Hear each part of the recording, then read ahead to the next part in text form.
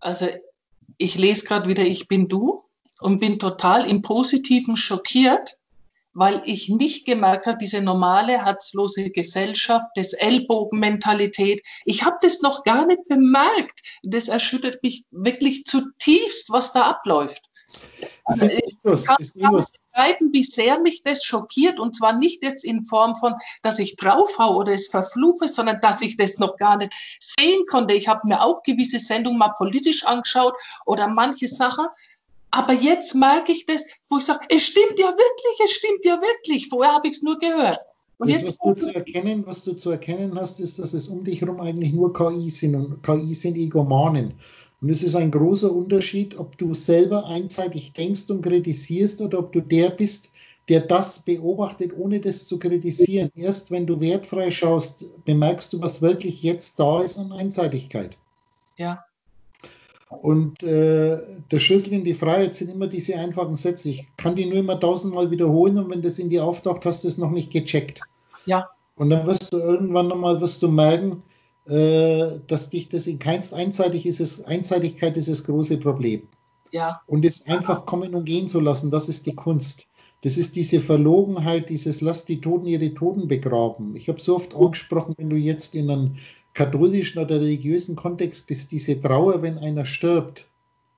Es ist so unendlich sinnlos. Es ist Leid, du erzeugst mit einem Programm, mit einem Schwamminhalt, mit einem anerzogenen Programm Leid, was so unendlich sinnlos ist. Ja. Jetzt kann ich nur wieder sagen, vom Säugling bis zum Kreis, damit ist alles gesagt. Einfach nur sich bewusst machen, was ist. Jeder Moment zerstört sich selbst durch den neuen nächsten Moment. Und jetzt bist du halt innerhalb eines kleinen Bezirks, abgezirkelten Bezirks, lebst du praktisch in deiner Welt und die Bilder, die in dir auftauchen, hängen stark davon ab, wo du in der Esse zeigst. Das in der Esse ist dein inneres Sein. Ja.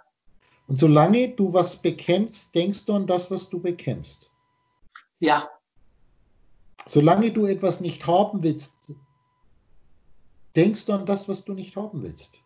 Wärst dir gleichgültig, wird sich in Luft auflösen.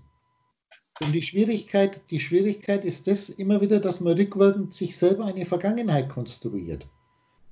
Das, das Hauptproblem ist, du musst lege mal deinen Fokus drauf, inwieweit du auf der tiefen Ebene, ich sage immer, es existiert knapp unter der Oberfläche, das nenne ich den Arbeitsspeicher. Ja. Inwieweit du zwanghaft ständig, wenn du spazieren gehst, wenn du irgendwo bist, im Hintergrund den Glauben hast, dass das, was jetzt ist, vorher entstanden ist. Genau. Genau. Das musst du durchschauen. Es ist vorher nie irgendetwas gewesen. Was war zuerst da, das Ei oder die Henne? Ja. Das ist auch so ein Beispiel, die Erklärungen, die die, die Naturwissenschaft dazu gibt, ist schlichtweg ein einfacher Trugschluss, eine Selbstlüge, weil die klassischen Programme, die Egos, die KIs versuchen sich am Leben zu erhalten. Die können nicht anders, die sind so programmiert, möglichst lange am Leben zu erhalten, aber du kannst was Ausgedachtes nicht am Leben erhalten. Nein. Es macht keinen Sinn. Nein. Du musst es sich verändern lassen. Genau, da habe ich